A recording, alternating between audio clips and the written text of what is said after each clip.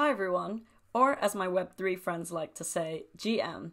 I'm Victoria, and I'm going to show you how to create and verify your very own NFT collection on Solana. So, we are going to go over two ways to do it. The first way we'll touch on very quickly, and it is how to make your own NFT collection without any code. You'll basically be minting the NFTs yourself. And then the second way that I'll show you is how you'll create a minting dApp where other people can come and mint the NFTs. We'll also go through the pros and cons of both solutions. And then I will also show you how to make your collection look legit. So, how to make your collection have a photo, have a name, and a verified creator. We have quite a lot to cover, so this is going to be really exciting and hope you stick with me for the video. So, meet the Caviar Cavalier Club. This is a series of very cute little digital cavaliers, all drawn by my sister, and we are going to use them for this example. Right now, they are very simple JPEGs, and there's no metadata associated with them. So we are going to transform these simple JPEGs into proper NFTs on Solana. But first, before we start, I want us to have a look at an uh, existing NFT collection on Solana. So over here is OK Bears. And as you can see, the NFTs of OK Bears, it's not just a JPEG. There is all this metadata associated with it and information about the collection. So this is information that we need to add to our Cavaliers to make it look like a more legit collection and make the NFT not just an image. So now I'm going to touch very quickly on the first way to create NFTs. And this is the way without any code. So what you can do is go to a tool like Solsea and connect your wallet. Then once you're there, you can create your own collection. It's absolutely no code, and you can just enter information about your collection, like the title, a description, and other interesting metadata that you want people to see about your collection. You can also include information on, on all your social profiles and then basically create the collection. Solsea then also lets you create NFTs for that collection. So you can upload all your individual images. At this point, you saw that the Caviar Cavalier Club has five Cavaliers. So I would have to upload each of those individually and mint those as NFTs. Now, for each of these images, I can give them a title, give it a description, and add that metadata that you saw OK Bears had.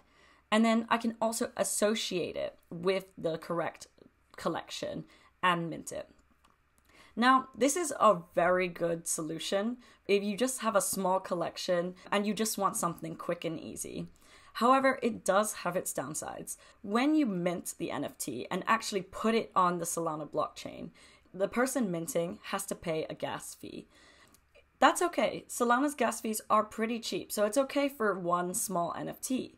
However, if you are creating a large collection, you're going to have to be paying gas for all of those NFTs. So it doesn't really scale very well. So, what a lot of big projects do is create their own minting dApp, which is essentially a web page that someone can go to and mint an NFT. And so the person minting pays the gas rather than the collection owner. For collections that are 10,000 big, that saves the collection owner a lot of gas because they don't have to pay any of the individual gas fees. This is the exa- example that I really want to spend this tutorial on because I think it's the more scalable solution if you're selling a large NFT collection. Here's a demo of what this looks like. You can see this minting dApp and you can see how many are remaining. Um, this is a snapshot of what our finished product will look like. And so you can see there are five Caviar Cavaliers selling, and each of them are being sold for 0.01 Sol. Don't worry, I will go through how to create that. Anyways, we can mint the NFT and create our very own Caviar Cavalier Club.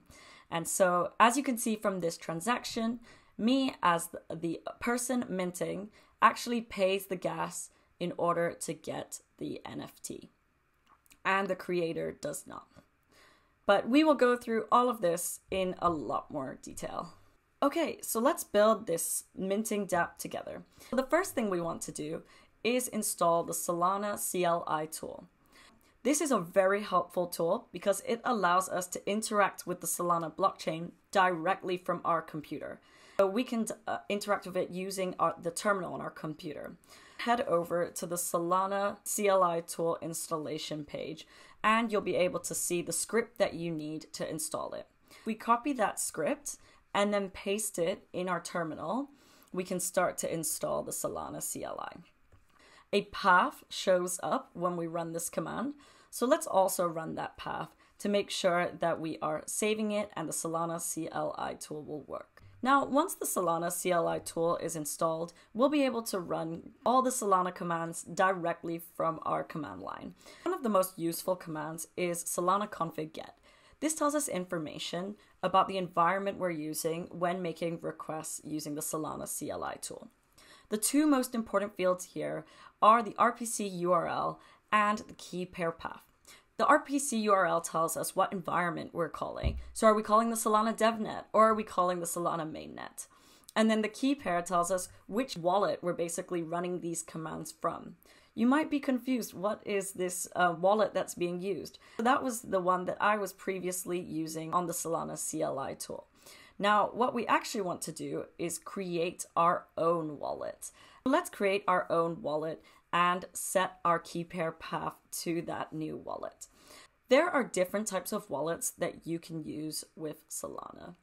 The wallet that we are going to use for the sake of this tutorial is a file system wallet. This means that the private key and public key, the key pair, is stored on your computer. I personally do not use a file system wallet because I'm quite security conscious. So I use a hardware wallet. I use a ledger. So the private key is stored on my own device and never on my computer. But for the sake of this tutorial, let's just do it all on the file system wallet. Let's create our very own file system wallet. And again, the Solana documentation has information on how to create this. So if we head over there, we can see the commands to create a new file system wallet. So all we need to do is specify the location we want that key pair to be written to. You can choose whatever location you want, but this is the one I am going to choose. And I'm going to make it very clear that it's for the Caviar Cavalier Club, so I'll save it as ccc.json. You'll notice that once we create this file system wallet, you'll see a seed phrase printed on the terminal. Now, this seed phrase is extremely important. It is essentially like your private key. So do not share it with anyone. If someone gets access to your seed phrase, they can have access to your wallet and steal your funds. So keep it very private. But this is just a tutorial, so for now I'm going to write it down and I will delete this key pair once the tutorial is over. Now we actually want to make sure that our Solana CLI tool is using the correct wallet, the one that we just created. So we can run the solana config set command and change the key pair file path to our new key pair, so ccc.json in this case. And so let's do that and make sure that we have the right wallet selected. Because If you just run the command solana address, you can see the address uh, that the Solana CLI tool is currently using and we can make sure that it matches the address that was printed above when we created the Solana wallet. Right now, our wallet has absolutely no funds because we just created it. Because we are on the DevNet, which we will use for the, this uh, tutorial, we can airdrop ourselves some SOL, which is very easy. Let's run the airdrop command and give ourselves one SOL, which is plenty and enough to upload our Caviar Cavalier Club collection and we can check the balance by running Solana balance just to make sure that we have the correct amount of SOL. Okay, so now that we have the Solana CLI tool set up and created our wallet, we can now get into creating our dApp. But before we do, I really want to talk about Metaplex. Metaplex is the NFT standard on Solana, and it also has a whole series of tools that makes it easy to launch NFT projects. And with Metaplex, we're going to use something called the Candy Machine. If we head over to the Metaplex documentation, we can see information about what the NFT standard looks like on Solana. So this shows the metadata that is associated with an NFT. And you saw this briefly before when we looked at OK Bears, but this is a closer look of the information that should be attached to an NFT. So you can see that there is a name, there's a symbol associated with it, a description that the NFT has, and then attributes, the image that the NFT has, and a lot more other information. And over here is an example of what the NFT metadata looks like in JSON format. And so this is what we need to create for each of our Caviar Cavaliers. In order to create those JSON files and that metadata, let's use a text editor. I usually use VS Code. Over here, I've already installed VS Code and I'm going to drag over my folder of all my Caviar Cavalier images into VS Code. And now I can see all the Caviar Cavaliers labeled.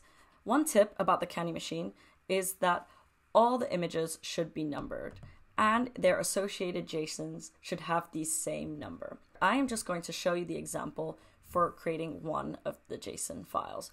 So I copied the JSON fo- folder over from Metaplex's documentation, and now I'm going to edit it with information about my Caviar Cavalier.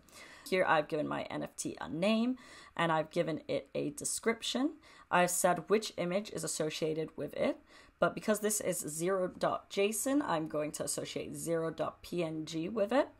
And then I can add other information like the URL to my website, caviarcavalierclub.com.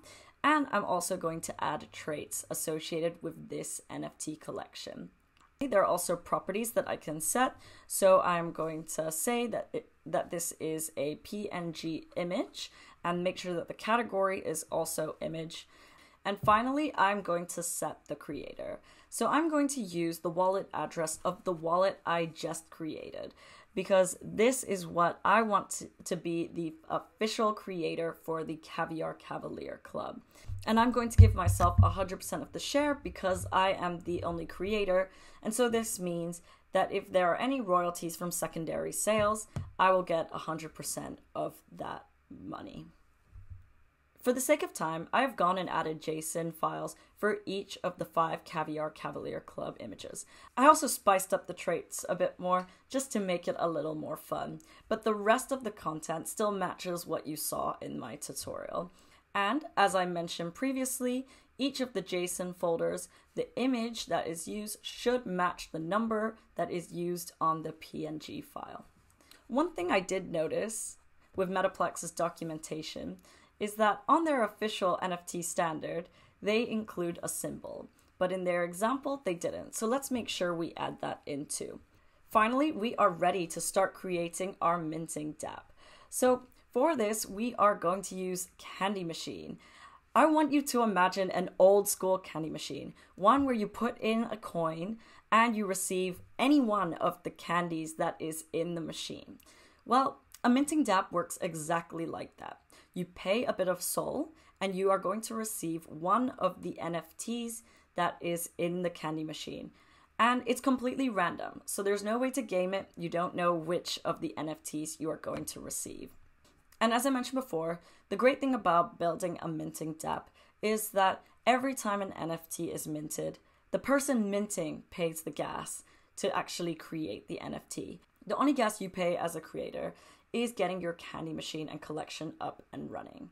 In order to set up the candy machine, there are a bunch of things that you will need to install. Thankfully, Metaplex has really good documentation and will tell you what you need to install here, so I won't do that in this tutorial.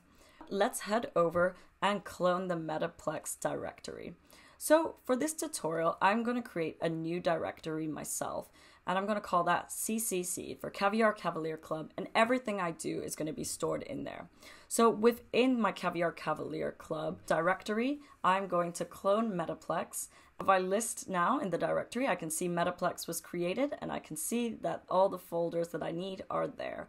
Fantastic. Okay, so now let's bring over our new Caviar Cavalier Club folder into our text editor. And as you can see, all the folders we need are there. We can head over and find the Candy Machine CLI path. It is under Metaplex JS CLI. And within this folder, there is a config file, and this is what we'll use to uh, configure our settings for our Candy machine. Metaplex's site has a lot of information on how we can set our configuration for our Candy machine. Over here are a bunch of fields that we can change. For instance, we can change the price. So we can set the actual price that you would have to pay to buy one of the NFTs in the candy machine. We can specify how many NFTs are in this candy machine. There's a gatekeeper, which is good for stopping bots from accessing the candy machine. But for this tutorial, we won't use it. And there are a lot of other fields, like where, which address the candy machine mint fee should be sent to, when the candy machine goes live, and more whitelist settings. I will make a whole video on whitelisting, so stay tuned for that, but for this tutorial we will not include any whitelisting. And then finally, we can also specify the storage solution. So where the actual image of the Caviar Cavalier will be stored. So Candy Machine has a tool that helps us upload that image. And so the storage solution we're going to use for this tutorial is Arweave. Now let's head over to our config file and set the information we need. So over here, I'm going to set the price of the Caviar Cavalier Club to 0.01 Sol. And then I will set the number to 5 because there are only 5 in this tutorial. And then I'm going to make sure that the Sol Treasury account matches the wallet that I created so that me, as the Caviar Cavalier Club owner, gets the fees that people spend when they mint NFTs. And then next, I will set the go live date. I'm going to just pick a date in the past so that we can already start minting. I will set the storage to Arweave Sol because we are going to use Sol in order to fund uploading the images to Arweave.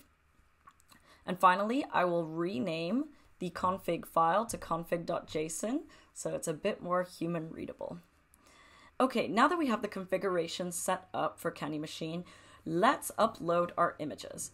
But first, let's make sure our images are in the correct location in our um, in our Caviar Cavalier Club directory. Before, I had stored them just in a separate image folder, and now I'm going to pull it over into the assets folder so that Candy Machine will be ready to upload them. Now our NFTs are in the right location in our directory, and we have configured our candy machine. We can actually start creating it. So the way to create it is to run Metaplex's upload command. The first thing to do is head over to the JS directory.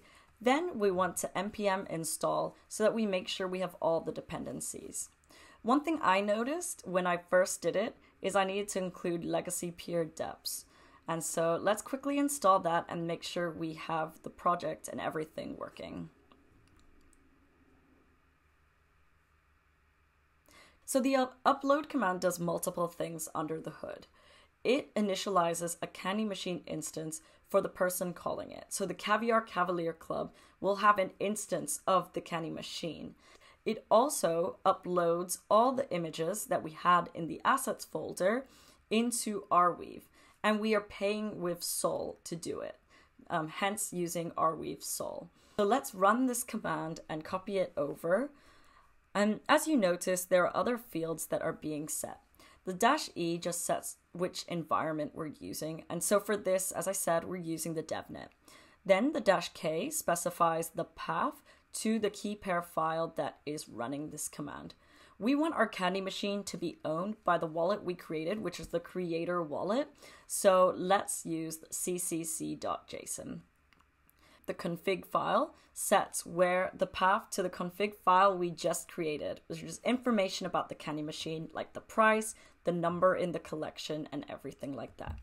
And finally, the dash C flag sets the cache name. So this, the cache stores information about the candy machine that is created and the assets that were are uploaded. So we will take a look at that in a second. Now let's run the command, and as you can see, the candy machine is being initialized. And so over here, we finally things are printed and we can see the instance of the candy machine that was created.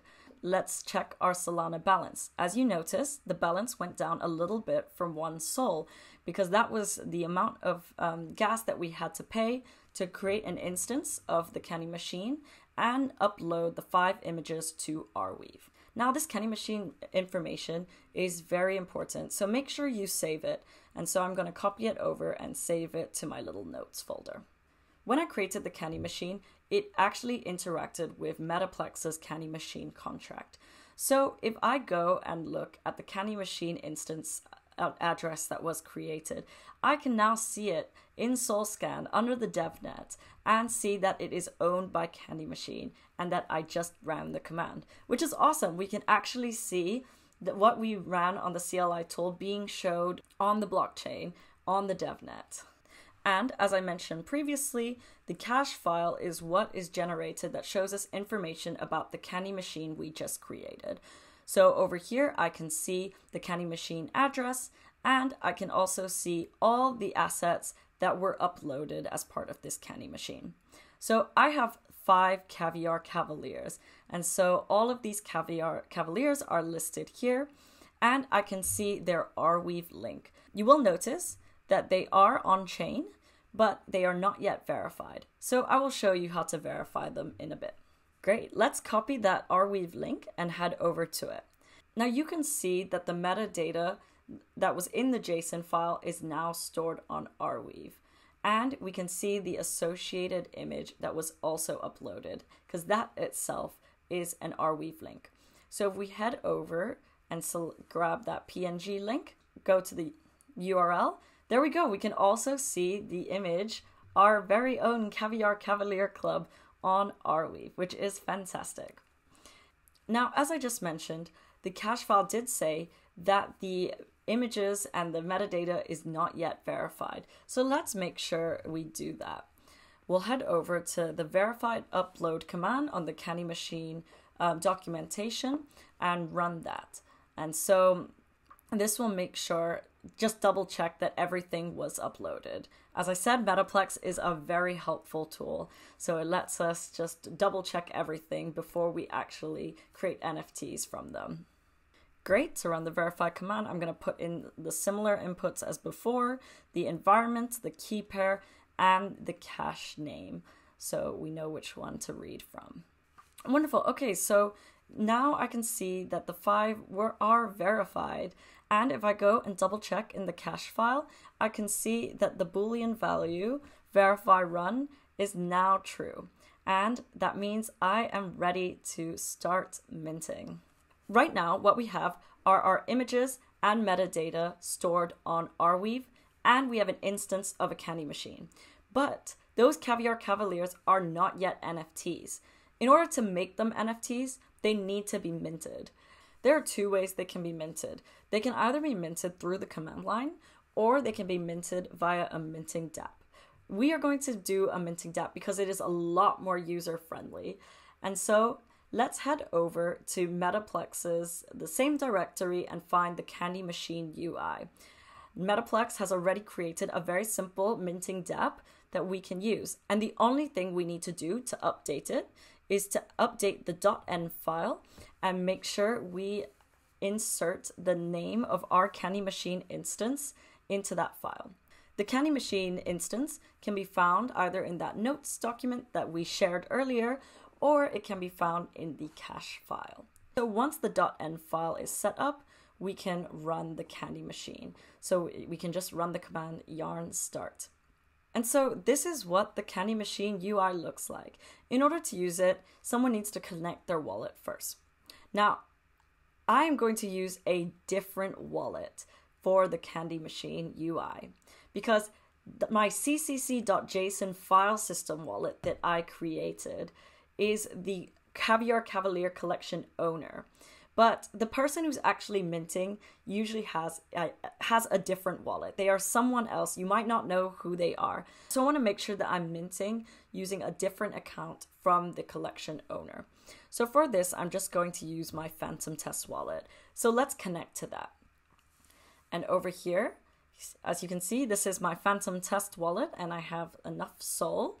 So I'm going to mint I can see that there are five Caviar Cavaliers to be minted and each for 0.01 Sol.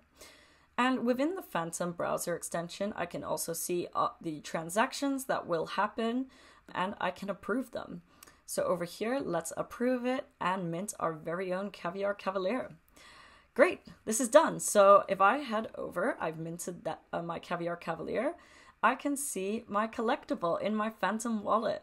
And awesome, now this is actually an NFT, Cavalier Theodore Duke and we can see a description about this NFT and also see interesting metadata associated with it, which is fabulous. And you will also notice that now the candy machine also has only four items remaining, um, which is great. It shows that it worked as intended.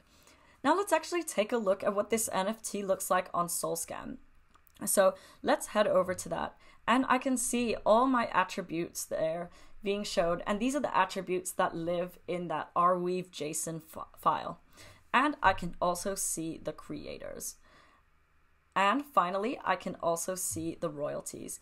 For now, I only set the royalties to zero. Amazing! Now we have our very own Caviar Cavalier NFT on the DevNet. But as you might have noticed, the collection name seems strange it doesn't show Caviar Cavalier Club, and so that doesn't look very legit. So now I'm actually going to show you how, as the NFT um, collection owner, you can create the Caviar Cavalier collection that all those NFTs will be associated with. Metaplex, if you head over to their documentation, has um, a very helpful tool that lets you create a collection. So let's head over to that. And here is the collection page so we can connect our wallet. However, just a quick note, you'll notice that this collection page is on the UI, but the wallet that we use to create our NFT collection is on our file system. So I really want to be able to use that wallet with my browser. In order to do that, let's import the wallet that we created on a file system into our browser. To do that, we need our private key. And the easiest way to get it is just cat the folder and get this number. And then from the Phantom extension, I usually use Phantom, but there are other wallets you can use. You can import the private key. And let's just set this to the Caviar Cavalier Club. And as I already mentioned, be so careful with your private key. If someone gets access to your private key, it's as simple as that. They can copy paste, import a private key, and steal your funds. So be extremely careful. But this is just a tutorial. Let's head over and create our collection. So let's connect our wallet and then we can start putting information about the collection. So I want my collection to be called Caviar Cavalier Club, and I want my collection to have a very specific cover image. So let me upload that, and then I want a general description for my collection. Finally, I want to be able to import the NFTs that I have already minted and associate them with my collection. The best way to do that is to head over to the NFT and look for the first verified creator. This is the creator in the NFT that has 0%. So let's go to that account and copy that address. It takes a moment because it is searching for all the NFTs for that creator. And right now we only have one NFT created. So there's only one NFT that appears. But I can go ahead and create my official collection for that one NFT that we've created. And I will make sure in the browser extension to use the wallet of my Caviar Cavalier Club collection owner, so the one that I just imported. Metaplex does charge 0.01 Sol to create the collection, and then also a little bit of Sol to associate NFTs with that collection.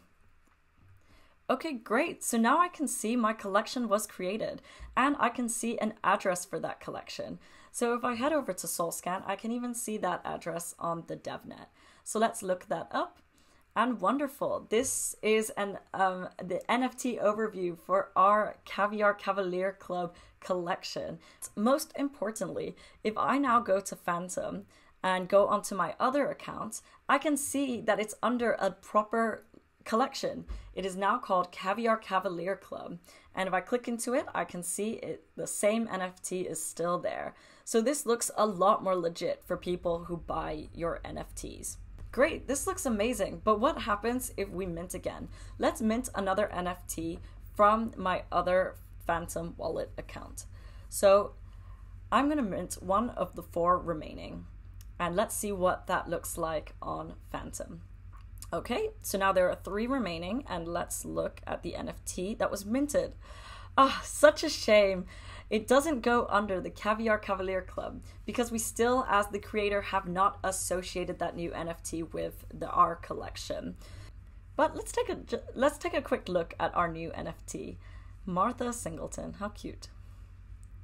In order to associate that new NFT with the collection again, we can reselect our Caviar Cavalier Club wallet on the browser and head over.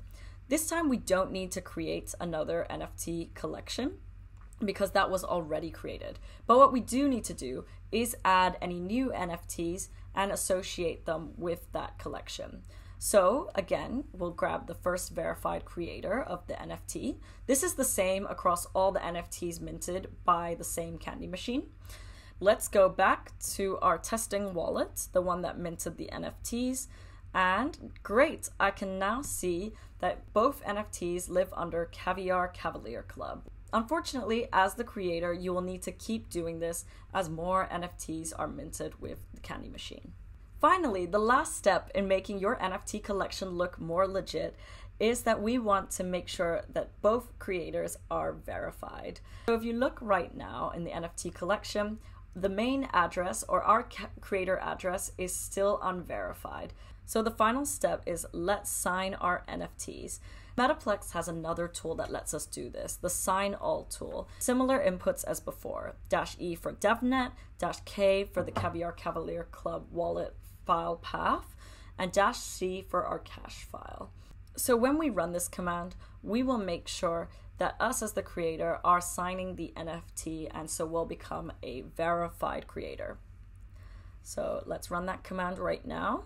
Great, so it's found two NFTs and verified them. If I go back to SolScan and refresh, I can now see that both creators are verified, and this makes our collection look more legit. Amazing. Thank you so much for watching, especially if you made it to the end of the video. I really hope it was helpful. I'm Victoria, and I'll be making a lot more videos on Solana and on blockchain dev in general. Please subscribe and stay updated on all the content that is to come. Thank you.